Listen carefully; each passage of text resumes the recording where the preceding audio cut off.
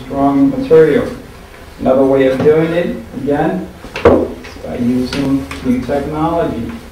This technology, I was asked yesterday, when was this technology invented, and I wasn't quite sure if it was 40s, 30s, 40s, or 50s, and it was actually created um, 50s by another woodworker who got tired of working too hard. so this is another way of, of, of, of um, improving a joint like this. What is this joint used for? You could create jewelry boxes, not much, it's decorative. It's not so strong, just like the uh, um, um, butt joint. It's not a strong joint, but this little detail makes it strong and beautiful, you don't see your end grains. It's nice and clean. Okay? Now, another joint that we have is the clap joint. Where it says it, clap. Okay? It's clapping, putting two pieces of wood together. I'll show you this. This right here, this is an clap joint. Take some of the wood off, take half of this, half of the other side, put them together, you created a clap joint. You can glue this joint, or you could put a dowel through it. If you don't want to put a dowel through it, you could put a screw through the back. This is used for framing. Beautiful, simple. Another way of using this clap joint is the cross joint. This one right here I have not glued. When you do anything to it, it's pretty hard. Okay? This has no movement to the side. This one does. But I like the little detail, so I like to put a plug, a, a dowel through this. I keep it traditional. I don't do screws. Okay? Want to pass this one around. And you know what? You could pass all of them around.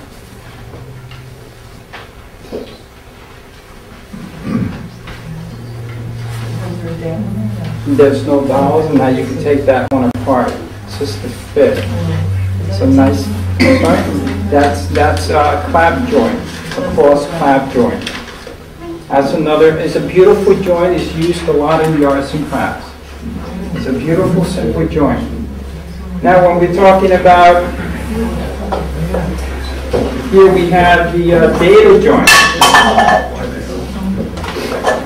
Dado joint is a simple joint that goes against the grain. If it goes with the grain, it's not a called a dove joint, it's called a groove. Or an across is a dado joint. This joint is used a lot for shelves, for bookcases, for the bottom, and that's how it goes. It's very simple. Again, you could always put a screw, glue it, and it becomes a very strong joint. New technology. This is called pocket hole screws. New technology was invented for all those woodworkers who do not want to work too many hours. because the more hours they work, the less money they made. I was myself. The more hours I put, sometimes I think I'm losing money because I dedicate my time as an artist to my friends. So, the pocket screw. This is not new technology, really. It's the jig. Right. This technology has been used since the Egyptians. And the Egyptians used to do the same, would drill a hole across the same idea and will put a dowel through it. Egyptians did it. I have a little story on that before the, a few more minutes. I went to the exhibit, uh, the King Tut exhibit in New York a few weeks ago with my kids. I thought it was expensive. Me too. Yeah. Well, because, you know, I have a, a nine-year-old and a ten-year-old son where when they used to go into the museum, they just fly and they don't appreciate what's there. So I'm like, inside, oh, this is gonna be an expensive day in New York City for like tourists. So, I went there, inside. King Tut did not interest me. There was one item that did, and it was a chair. Caught my eye. It caught my eye. It was, it was, it was the joinery that they created 3,000 years ago. A joinery that we still use today. Incredible. It was a masterpiece. Okay, because it was still intact. And that's when I said, you know, this, this shit was worth it. You know, it's- This show was worth it. It was just that shit that caught my eye and took me to another level of appreciation craftsman. Okay? So, where am I? Um, so, with this joint, I was talking about that it's been done for many, many years. Person woke up in the morning and boom, a light came up. Oh, I've been doing these joints for so long and, and it takes me forever. They created a jig. Simple jig. And kids, if we wanted to drill a hole like this, we start up and then bend down and go through. This person is making millions. It's making our life easier too. Okay, this doesn't mean that we craftsmen are against type of joineries, you know, jigs like this, because it does make our life easier. We have to, and or the audience, people who buy a piece of furniture have to understand that it does take a lot of work. If it does take a lot of work, you will be paying the price. Okay? So, I eliminate some man hours by using this. Do I use this on all my pieces? No, not me. Okay, I'm a true craftsman. I use for certain spots that you won't even see it. This has to be held somehow. This is what I use. But I'm more traditional than that. Another duff, another joint that I do enjoy and love. It's a beautiful joint. Is the dovetail. Another old, old Egyptian technique is the dovetail. Years ago, people used to cut these pins by hand. Today, technology, and thank you so much for helping us. We have a jig like this. You clamp two pieces of wood and with a router, with a dovetail bit, we could create beautiful joinery in no time. Doesn't mean that this joinery is less quality than the one who's using a saw. It's more accurate, mm-hmm. it's faster. We have to keep on with demand. Mm-hmm. Another incredible joint that is one of my favorites, most of my work is done with this joint, is the mortise and tenon. Gotta be careful with this door because this door belongs to a piece of furniture that I'm making for a client.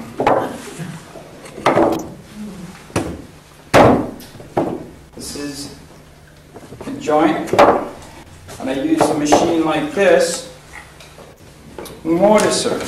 I don't use chisels, not all the time to do like this. Then I'll be that starving artist. So, to create a mortise like this, I could use this machine or I could use a router. Mm-hmm. Doesn't mean that it doesn't work or it's wrong. Then I have my nail that I just put in. It has to fit exactly, nice and tight. Just glue it, put pins. This is strong joint, will last longer than we will. And my work and my philosophy and my Well, my idea is that whatever piece of furniture that I create should last over a hundred years. So, that's one of these joinery, and that's one great example of a Stickley piece. Carries the mortise and tenon joinery, but this is a true mortise and tenon. This is a blind mortise and tenon. You won't see it. This one, it comes out. Why do they make it come out? It's not because it's stronger, but it looks better. It's nice. Now, a lot of people, uh, a lot of companies today, they're cheating. What are they doing? They glue everything, take a little piece of wood, and they just glue it on. So wrong. It is wrong. Bad for them. That's the way um, a lot of companies are doing it. But that motivates me to become a true craftsman because there are not a lot of craftsmen doing work like this today. That's why we are able to charge more than, you know, mass production place or that are using for your entire furniture these pocket holes. Want something like that? Go to IKEA. That's how it is. Well, that's pretty much it on my joinery, the basic joinery. Hope you had a good time. Thank you.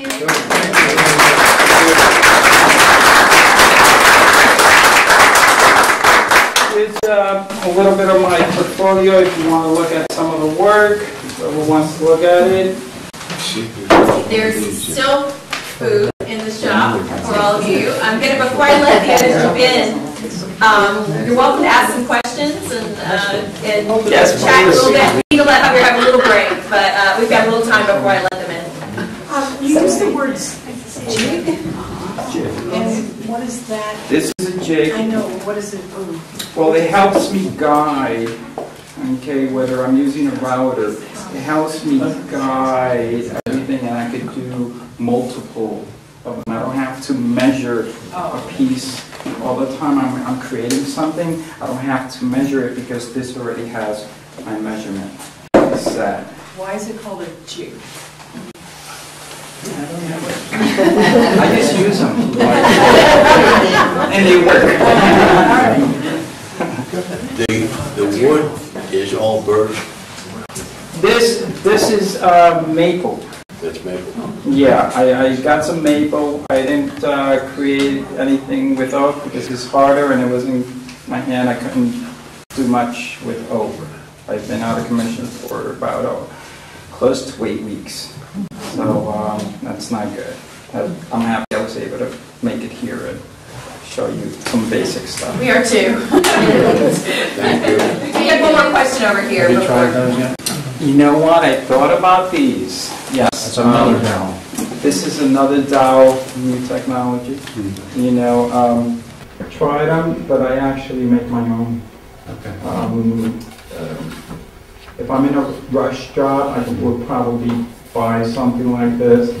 Um, Or sometimes I am in a rush job and I'm still making it in my own. Wonder, so that's. Um, But one day I would like to try and see how this, this, if they make them out of oak. They do, they make another different material.